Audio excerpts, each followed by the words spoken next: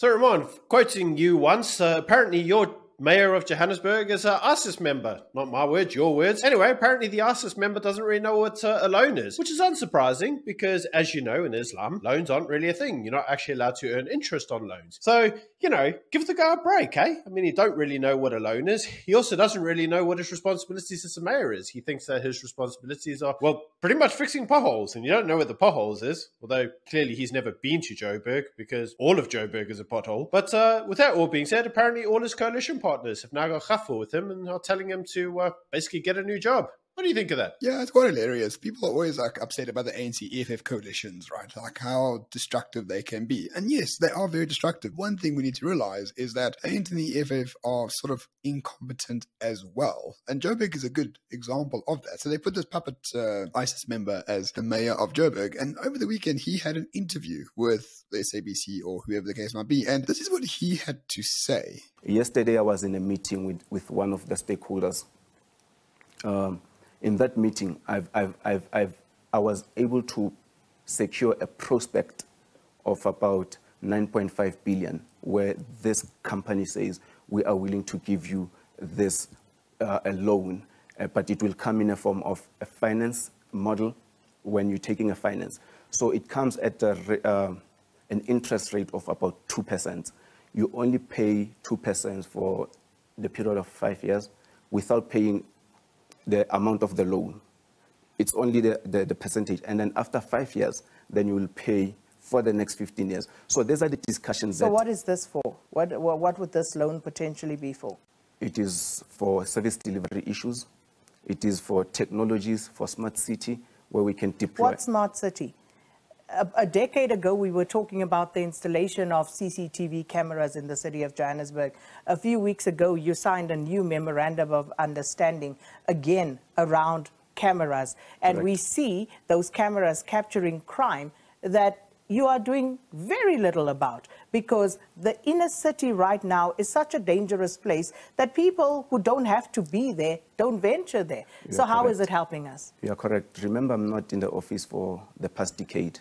I'm only a month. No, no, no. And, I'm and, saying and this started correct more than a decade ago. All right. So as you can see, ladies and gentlemen, the mayor is, let me just say, um, not not not terribly smart. And based on this video clip, Gayton McKenzie, the head of the Patriotic Alliance, seems to have been doing an about turn in terms of he feels like the Patriotic Alliance, by going into coalition with the ANC and the EFF, have let down Joburgers, and that could be very interesting in time to come. Gayton McKenzie was obviously the person who allowed the ANC and the EFF to take a majority in order to take the coalition in that municipality. And obviously, without his support, well, the ANC and the EFF don't actually have the numbers. Thank God for that. And it now appears that Mr. McKenzie has decided that the EFF and the ANC are a bunch of crooks, which to be frank, we could have told him about a year ago. But you know, he has done something that I think is a first for any politician. And that is, he actually apologized for his mistake. Said, I made a mistake, I backed the wrong horse, and uh, as a result, he now appears that he may be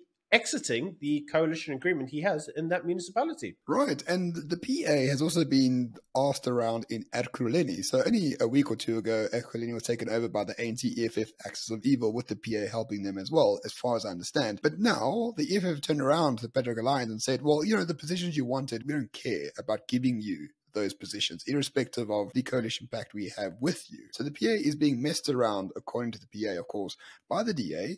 They're being messed around by the ANC and they're being messed around by the EFF. Yet they chose to hitch their horse with the latter parties to sort of give the DA the middle finger. So I wonder, based on that apology, the Twitter apology by Gayton McKenzie, do you think the Patriotic Alliance is A, going to go back with the DA and maybe get what they want or not get what they want? We'll see. But most importantly, number two, it shows that the PA is the real kingmaker in Gauteng and could be the real kingmaker in South Africa come 2024.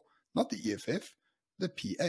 Unlike the EFF that seems to have no electoral growth, the PA is having electoral growth. And we have seen this even in the Western Cape. In some municipalities in the Western Cape, there have even been a viable opposition to the DA, which shows us that come 2024, the party that needs to be courted is the PA not the EFF. Exactly, and that is the absolute key here. So Byron and I will be going to Beaufort West very, very soon to stay with Gayton McKenzie and vlog with him for a whole day. So if you're asking yourself why we aren't calling the PA a bunch of f- it's because well we don't actually know them that well. Right, it can be various reasons why they vote the way they do, but there seems to be recognition with the Patriotic Alliance, at least, since we've been speaking to them in setting up this vlog and seeing what statements they've made. It seems like the PA is quite sensitive to what actually happens in the coalitions they form part of, at least in At least. But once we actually see Gayton for a day, film it, get to know him a bit better, we'll have a fair understanding of what his thoughts are concerning politics in South Africa and his role in politics in South Africa. We do know for a fact that Gayton McKenzie and Helen Zille did not get along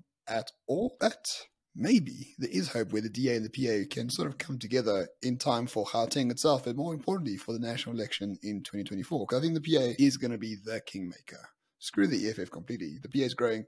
The PA's got a lot of clout, and Gayton knows a good deal when he sees one. Yeah, and so for those of you who look at it and go, yeah, but the PA allowed the ANC and the EFF to get into various municipalities. Yeah, they did it because they thought they could police the ANC and the EFF. They thought they could hold them to a high path of righteousness. Now, let's not all be high and mighty and overly sanctimonious because there are many people that feel that they can get the ANC to reform. Unfortunately, that's not how it works in reality. It's the whole RET versus reformer faction. We've heard these arguments over how many years now? There is no reformer faction. There's just an extraction network. And I think what McKenzie had to learn, Mr. McKenzie had to learn this. He had to learn that by being in partnership with them, there was no reform agenda. There was no salvaging the ANC. All you had left was an extraction network, and all they wanted to do was just eat the carcass dry. And I think he now knows that, which is why he's admitted to his mistake. Yeah, and I think it's also a very important lesson. So if the ANC and the EFF want to get into power in 2024, they may have one less coalition partner in terms of the PA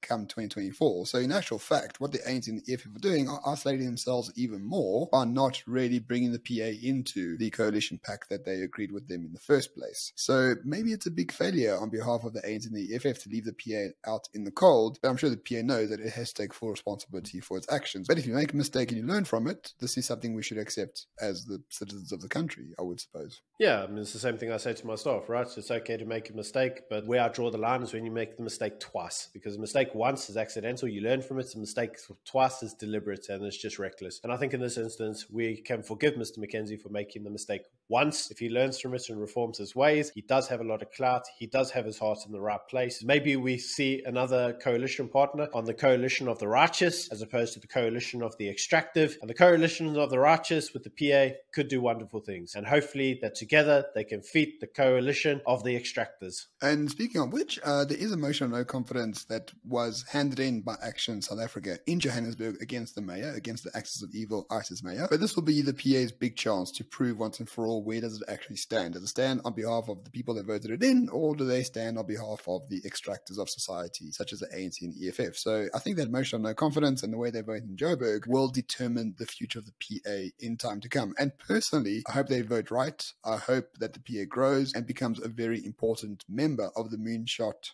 Pact that John Steenhuisen has been speaking about to topple the ANC regime in 2024.